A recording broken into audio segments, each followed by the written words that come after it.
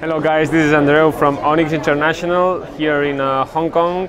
Um, here we have a very interesting product from Onyx. This is the 42 inches Signage screen.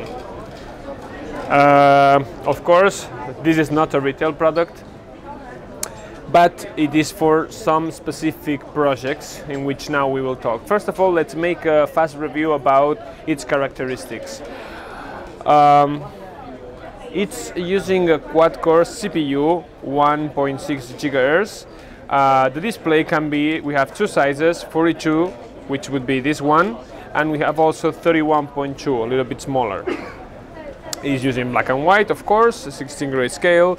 Uh, it doesn't have touch, so that means that we have to introduce through uh, SD card, USB, um, or HDMI, we can transfer the, the content that we want to display and um, later on it will be appear. It can be set, settled the time, uh, how long need to need to take every every image to appear and um, of course so there is no touch.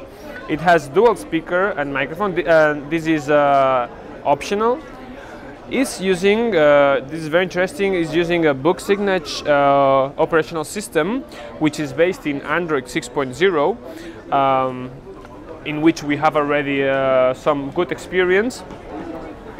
And um, of course, it has some uh, protection uh, possibilities because now I have to talk about the different scenarios that this device can be used for.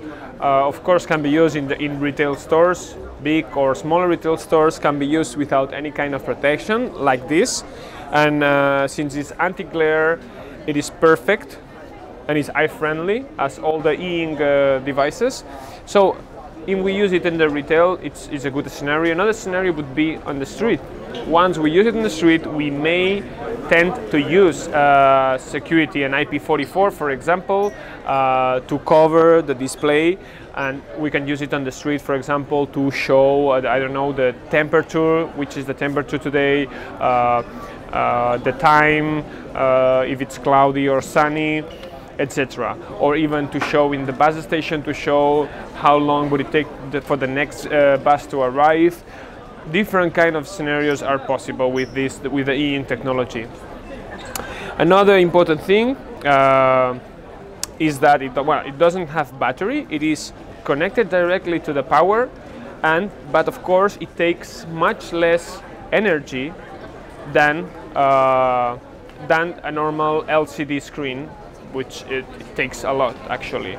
I cannot tell any kind of uh, figure or number, but of course this kind of technology it always less consumption, less power consumption that, than uh, than an LCD screen. Just as a reminder, another very important thing for the this e-ink product uh, with this anti-glare solution is that, as you may know, the e-ink devices, when they have the best uh, performance, is when they have a very good uh, ambient light, right? So let's think about a scenario in which we are using this device outside on the street to show any kind of information.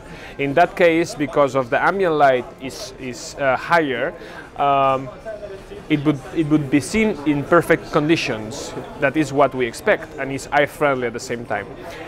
This compared to, for example, a LCD, which the, the LED light would come from the inside, as brighter is the ambient light, the more power they need to, to produce to, to provide to be seen. So we are wasting more energy, and if we don't provide that energy, we will not see anything in an LCD uh, screen. So this is a very good point to start using this kind of products in, in the street.